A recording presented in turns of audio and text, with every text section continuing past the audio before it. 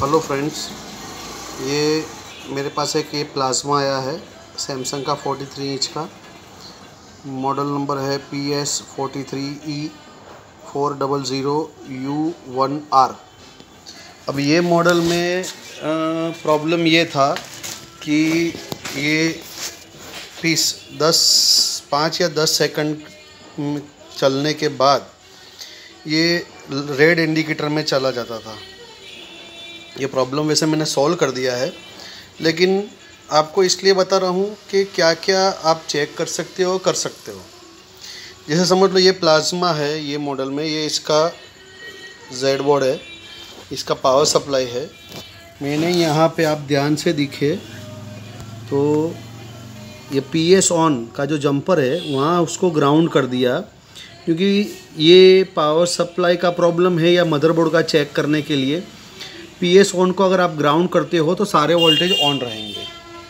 तो मैंने ये किया और उसके बाद यहाँ पे एक नंबर और दो नंबर की पिन को शॉर्ट किया। टेस्ट पैटर्न में सबसे पहले चला के देख लिया कि ये पीस बंद नहीं हो रहा था। मतलब हमारा ये पावर सप्लाई, ये जेड बोर्ड और ये वाई बोर्ड और बफर सब ओके है। कोई प्रॉब्लम इसमें नहीं है। हमारा टिकॉन भी चालू है।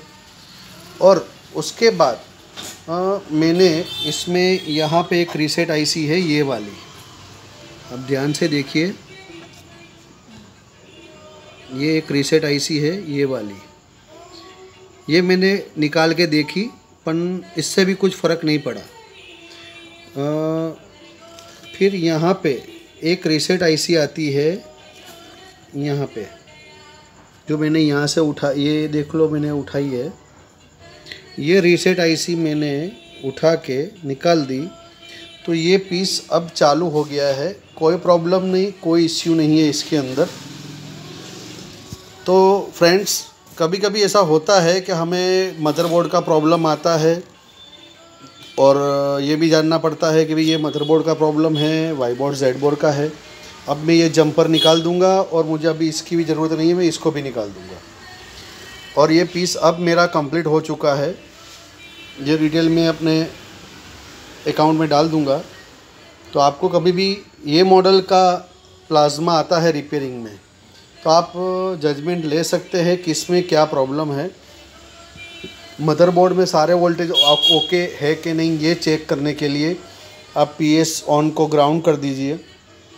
तो आपके सारे वोल्टेज आ जाएँगे। तो अगर कोई आईसी या रेगुलेटिंग आईसी ख़राब है तो आपको मालूम पड़ जाएगा। कोई हीट हो रही है कोई चीज़, वो भी मालूम पड़ जाएगा। अगर हीट हो रही है तो उसको निकाल के डाल सकते हो आप। और उसके बाद भी अगर ये नहीं हो रहा है तो आप ये रीसेट आईसी यहाँ पे और एक ये वाली। दोनों आईसी निकाल के बारी बारी से चेक कर सकते हैं। कभी ऐसा भी हो सकता है कि दोनों आईसी रीसेट की ख़राब भी हो। एक बार ऐसा भी करना पड़ेगा आपको दोनों उठा के देखना पड़े। Okay friend thank you very much for watching